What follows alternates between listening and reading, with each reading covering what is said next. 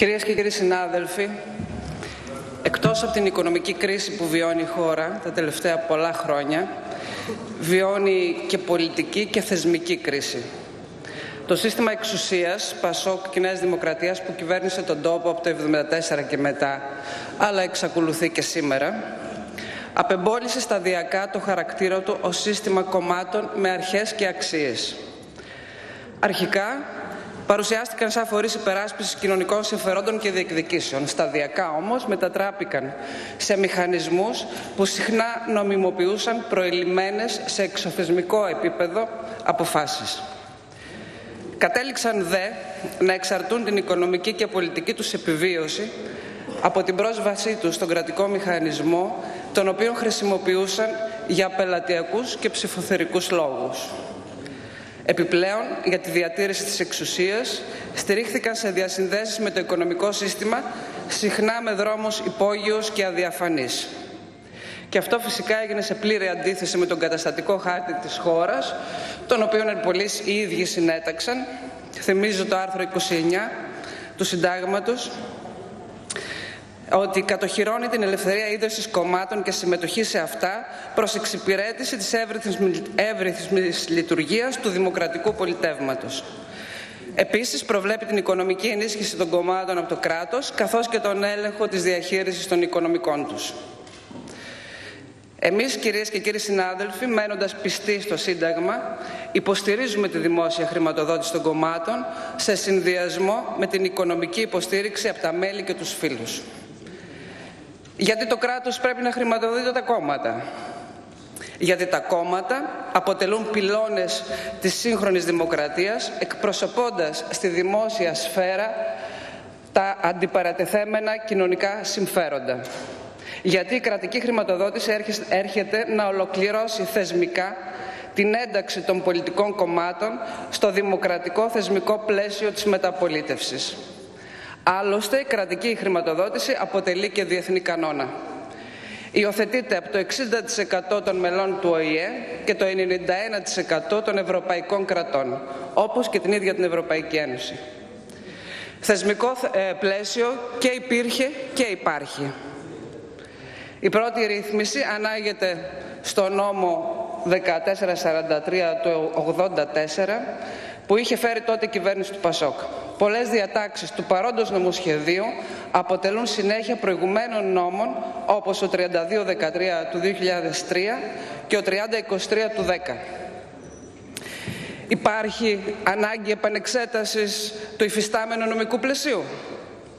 Η αλήθεια είναι ότι παρόλη τη ε, θεσμική θωράκιση της πολιτείας ήταν πολλά τα σκάνδαλα, μικρότερα ή μεγαλύτερα, που απασχόλησαν την πολιτική ζωή και την κοινή γνώμη. Το πολιτικό έγκλημα που διαπράχθηκε δεν ήταν δυστυχώς στιγμιαίο, αλλά παραμένει διαρκές. Το μαύρο πολιτικό χρήμα από τα κουπόνια γνωστού επιχειρηματία ως τα μαύρα ταμεία της Siemens ταλάνισαν την πολιτική ζωή του τόπου.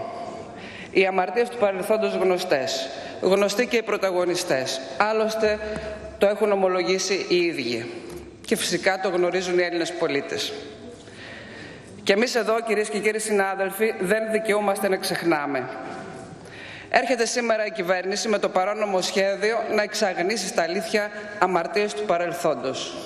Αφού πρώτα εξασφάλισε ότι θα μπουν στο απειρόβλητο οι πρωταγωνιστές που ενεπλάκησαν σε υποθέσεις Siemens, Φέρο, Σταλμάν και άλλες, ε, αφού το εξασφάλισε πρώτα, έρχεται σήμερα με πλήρη συνένεση τα κόμματα της Νέας Δημοκρατίας και το ΠΑΣΟΚ, μαζί με διάφορους πρόθυμους σε τηλεοπτικά παράθυρα, να καταγγέλουν συλλήβδιν τα κόμματα ως κρατικοδίαιτους και άχρηστους μηχανισμούς. Με το νομοσχέδιο επιχειρείτε εν μέρη να κατευνάσετε την αγανάκτηση των πολιτών και να ανατάξετε δήθεν την εικόνα του πολιτικού συστήματος. Κυρίες και κύριοι συνάδελφοι, μια ακόμη αμαρτία επίσης σκανδαλώδης και διαρκής είναι η δανειοδότηση του ΠΑΣΟ και της Νέας Δημοκρατίας. Δάνεια που χορηγήθηκαν με μοναδική εγγύηση, τη μελλοντική κρατική επιχορήγηση και μάλιστα σε βάθος πολλών ετών. Και αφού τα κόμματα βάρεσαν κανόνι, αφήνοντας απλήρωτους εργαζόμενους, ασφαλιστικούς φορείς, υπηρεσίες κοινής ωφέλειας και βέβαια ιδιώτες, άρχισε να αναπτύσσεται μια φιλολογία για διάδοχα σχήματα, αλλαγή ονομάτων, αλλαγή αφημί κτλ. Με μοναδικό φυσικά στόχο να μην επιβαρυνθούν τα διάδοχα σχήματα με τα χρέη των μετρικών κομμάτων. Μια σκέψη που συνερμικά μας προκύπτει είναι ότι πιθανά αν χωρίσετε το Πασό και τη Νέα Δημοκρατία σε bad και good κατά το πρότυπο των τραπεζών.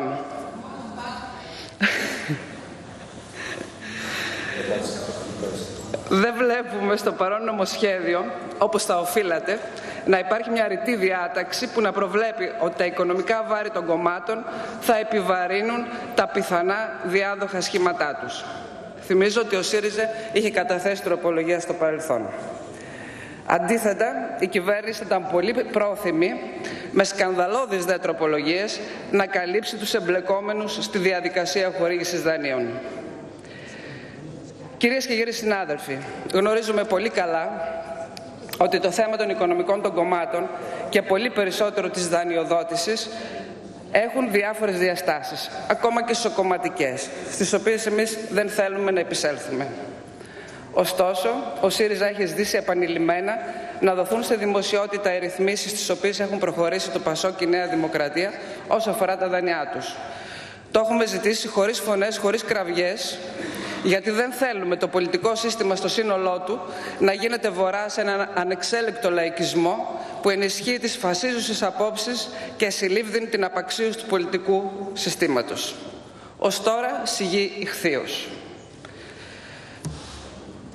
Κυρίες και κύριοι συνάδελφοι, το παρόνομο σχέδιο προβλέπει τη μείωση του ύψους της κρατικής ε, ε, χρηματοδότησης προς τα κόμματα κατά περίπου 50% στο ποσοστό επί του απολογισμού του προηγουμένου οικονομικού έτους, δηλαδή επιπραγματικών στοιχείων. Φυσικά δεχόμαστε τη μείωση, του, τη μείωση του ποσού εν μέσω οικονομικής κρίσης, σεβόμενοι όλες τις ανάγκες της ελληνικής κοινωνίας και την κατά προτεραιότητα κάλυψή τους. Θεωρούμε όμως ότι η δημοκρατία κοστίζει. Και αυτό πραγματικά πρέπει να το υπερασπιζόμαστε και να το κατοχυρώνουμε. Είναι απαραίτητο, ωστόσο, να γίνουν κάποιες επισημάνσεις για να έχουν οι πολίτες κυρίως μια ξεκάθαρη εικόνα όσο αφορά τη χρηματοδότηση των κομμάτων. Για να μην υποκύπτουν σε φτηνή λαϊκίστικη προπαγάνδα που εξαπολύεται συχνά από πολλά μέσα μαζικής επικοινωνίας και αναμεταδίδεται συχνά από τηλεοπτικούς δέκτες. Ξεκαθαρίζουμε λοιπόν ότι η μείωση της χρηματοδότησης έχει ήδη συμβεί. Περίπου 55 εκατομμύρια ήταν το 9 που θα μοιραζόταν σε όλα τα κόμματα, έφτασε στα 8 χωρίς να έχει αλλάξει η νομοθεσία. Εν μέρη βεβαίως λόγω μείωσης των εσόδων του προϋπολογισμού, αλλά στο μεγαλύτερο μέρος αυθαίρετα, χωρίς εξηγήσεις από τη σημερινή κυβερνητική πλειοψηφία. Αυτό έφερε σε δινή οικονομική θέση τα κόμματα, διότι δεν μπορούν να προγραμματίσουν ούτε να είναι συνεπείς στις υποχρεώσεις τους, πόσο μάλλον να επιτελέσουν το ρόλο τους. Και ξέρετε, κυρίες και κύριοι συνάδελφοι, για τα κόμματα της αριστεράς που δεν έχουν άλλους πόρους πέρα από την κρατική χρηματοδότηση και τη ε, συνεισφορά φίλων και μελών, η απόδοση των χρημάτων στον προκαθορισμένο χρόνο είναι ζωτική για την εύρυθμη λειτουργία τους. Ο ΣΥΡΙΖΑ, λόγω της μεγάλης μείωσης αλλά και κυρίως εξαιτίας της μη απόδοσης των χρημάτων σε συγκεκριμένους χρόνους, δυσκολευόμαστε εξαιρετικά να ανταποκριθούμε στις υποχρεώσεις μας. Ταυτόχρονα, ενώ έχουμε ρυθμισμένο δάνειο, στο οποίο προσπαθούμε να ανταποκριθούμε με εξαιρετικά δύσκολες συνθήκες. Χρειάζονται λοιπόν να καθοριστούν εξ αρχής καινούργιοι κανόνες, αλλά σταθεροί. Πρέπει μετά την κατάθεση του απολογισμού κάθε κόμμα να ξέρει πόσα χρήματα θα πάρει και να δίδονται σε συγκεκριμένο χρόνο. Θα μπορούσε και το, το προτείναμε αυτό να προβλεφτεί ένα ποσοστό της τάξης 60% να δίνεται στην αρχή του έτους και στον απολογισμό το υπόλοιπο. Την καταθέσαμε την πρόταση στην Επιτροπή, αλλά δεν νομίζω ότι έτυχε ιδιαίτερε επεξεργασίε. Στο παρόν σχέδιο νόμου και στο άρθρο 5 εισάγεται η δυνατότητα χρηματοδότησης των κομμάτων, συνασπισμών κομμάτων και πολιτικών προσώπων από νομικά πρόσωπα ιδιωτικού δικαίου. Όποια εταιρεία επιθυμεί θα μπορεί να χρηματοδοτεί όποιο κόμμα θέλει αρκεί να καταθέτει μέχρι 20.000 ευρώ ανά έτος σε τραπεζικό λογαριασμό του κόμματος και να καταγράφονται τα στοιχεία του νομικού προσώπου. Και εδώ θέλω να βάλω το εξής ερώτημα. Αν οι Siemens, ο κύριος Χριστοφοράκος, αντί να δίνουν βαλίτσες και σακούλες με χρήματα στον άνθρωπο που ήταν το δεξί χέρι πρώην Πρωθυπουργού, είχαν καταθέσει το προβλεπόμενο ποσό σε τράπεζα. Δεν θα υπήρχε πρόβλημα. Αν δηλαδή το είχαν καταθέσει σε σπαστά 20 χίλιαρα από διαφορετικά πρόσωπα των εταιριών και είχαν πάρει και απόδειξη, κανείς μας δεν θα είχε πρόβλημα. Η κυβέρνηση υποστηρίζει ότι με τον τρόπο αυτό θα ελεγχθεί η ροή ιδιωτικού χρήματος προς τα κόμματα και θα υπάρξει διαφάνεια. Εμείς υποστηρίζουμε ότι με αυτό το νομοσχέδιο νομιμοποιούνται στην καλύτερη περίπτωση οι σχέσεις συναλλαγής μεταξύ οικονομικών συμφερόντων και κομμάτων. Κάποια χρήματα θα δίνονται πάνω από το τραπέζι, αλλά πολύ περισσότερα κάτω από το τραπέζι. Και έτσι θα οδηγηθούμε πάλι σε κόμματα ανοιχτής διαπλοκής και βεβαίως για όσους είναι πρόθυμοι να το κάνουν. Δεν εννοούμε για όλους. Κυρίες και κύριοι συνάδελφοι, με το παρόν νομοσχέδιο δεν νομιμοποιείται μόνο η διαπλοκή. Επιχειρήθηκε επιπλέον το φακέλωμα φίλων και μελών που συνεισφέρουν από το ειστέρημά τους προκειμένου να συνδράμουν στο κόμμα που εκφράζει τις πολιτικές τους απόψεις. Και απειλήσατε ακόμα με διακοπή της χρηματοδότησης για τα κόμματα που δεν θα συμμορφωθούν σε αυτό. Νομίζω ότι ούτε εσείς οι ίδιοι δεν πιστεύατε ότι θα βρεθείτε αντιμέτωποι στην Επιτροπή με την ομόθυμη αντίδραση των κομμάτων. Προφανώς και μέσα στους δικούς σας κόλπους υπήρξε αντίδραση για αυτή τη διάταξη. Άλλωστε, όπως και για την παράγραφο 2 του άρθρου 18 που ασκούσε τη λογοκρισία ε, στα ε, μέσα μαζικής επικοινωνίας, την οποία φυσικά ε, αναγκαστήκατε να αποσύρετε. Και για μας το όριο των 150.000 ευρώ που μπαίνει για τα κουπόνια, μέχρι 150.000 να διατηρείται η ανωνυμία, δεν συμφωνούμε. Εμείς λέμε κανένα όριο, κανένας έλεγχος στο πόσα μέλη και πόσους φίλους έχουμε και τι συνεισφέρουν οικονομικά στα κόμματά μας. Πρακτικά το όριο αυτό μπορεί να μην ξεπεραστεί ποτέ. Αλλά αν υποθέσουμε ότι ξεπερνιέται κατά 50 ευρώ, τότε αυτό το 50 θα πρέπει να έχει ονοματεπώνυμο διεύθυνση και αφημί. Νομίζω ότι θεωρητικά πρόκειται για το ίδιο πρόβλημα, επομένως δεν θα συνενέσουμε ακόμα και μετά την αλλαγή που έγινε στην, ε, ε, στο άρθρο. Και φυσικά σας καλούμε άλλη μια φορά να αποσύρετε αυτή τη διάταξη. Κυρίες και κύριοι συνάδελφοι, εμείς είμαστε υπέρ της πλήρους διαφάνειας και του αυστηρού ελέγχου, ειδικά όταν πρόκειται για τη διαχείριση του δημοσίου χρήματος. Κάποιες διατάξεις του παρόντος νομοσχεδίου που κινούνται σε αυτή την κατεύθυνση θα τις υπερψηφίσουμε. Και θα πω αναλυτικά αύριο. Ανακεφαλαιώνοντας, για μας η δίκαιη και διαφανής επιχορήγηση των πολιτικών κομμάτων καθώς και ο αυστηρός έλεγχος στα οικονομικά τους αποτελεί εχέγγυο για τη σωστή λειτουργία του πολιτικού συστήματος και της ίδιας δημοκρατίας.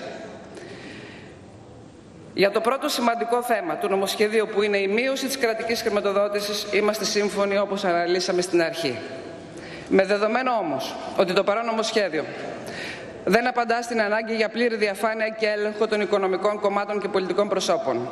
Εισάγει την ιδιωτική χρηματοδότηση από νομικά πρόσωπα ιδιωτικού δικαίου, δηλαδή νομιμοποιεί τη διαπλοκή, και επίσης καταργεί την ανωνυμία της οικονομικής συμβολής μελών και φίλων των κομμάτων και θα καταψηφίσουμε το νομοσχέδιο αυτό επί της αρχής.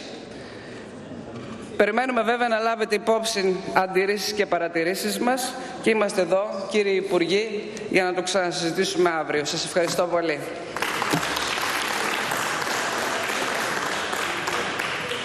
Και εμείς ευχαριστούμε για την απόλυτα σωστή χρήση του χρόνου σας. Το λόγο έχει ο ειδικός αγορητής του ΠΑΣΟΚ, ο συνάδελφος βουλευτής Ηλίας, ο κύριος Γιάννης Κουτσούκος.